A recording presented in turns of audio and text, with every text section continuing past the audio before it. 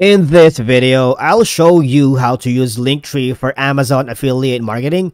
The uh, method is straightforward and clearly described in the video, so follow all the steps. But before we dive into all of it, make sure you hit the subscribe button below and ring the notification bell so you never miss out on our latest content.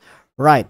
Basically, when you lose when you use Linktree for Amazon affiliate marketing, it can offer and give you a lot of advantages although it's important to consider its limitations and ensure that your approach complies with Amazon's affiliate program policies. So, here in Linktree, it will allow you to centralize your affiliate links in one place instead of sharing individual Amazon affiliate links in your content. So you can provide a Linktree URL, simplifying the process for your audience. So right now, if if you are here in Linktree, if you don't have an, an account yet, you might want to go and sign up for an account Okay, go to linktree.com.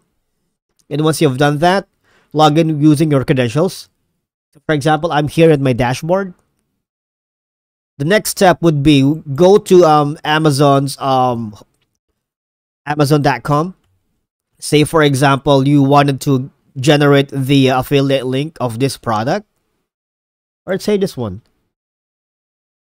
Okay, we have a related past videos on getting the Amazon affiliate link.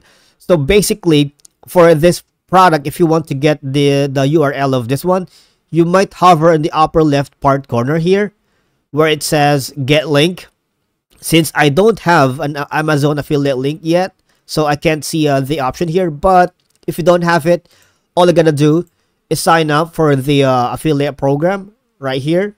And once you've signed up for that, your homepage would be able to get the uh, link or we would be able to get the option to get link. And say, for example, this is the link right here.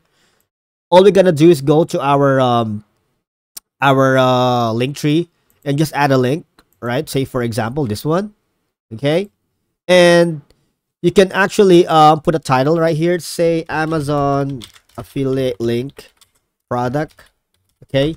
And you can do that in multiple ways, all right? So just gonna get the uh, get link here for every products that you wanted to put in Linktree admin. And that's how you use Linktree for affiliate marketing in Amazon. Thank you so much for watching and I'll see you all in the next one.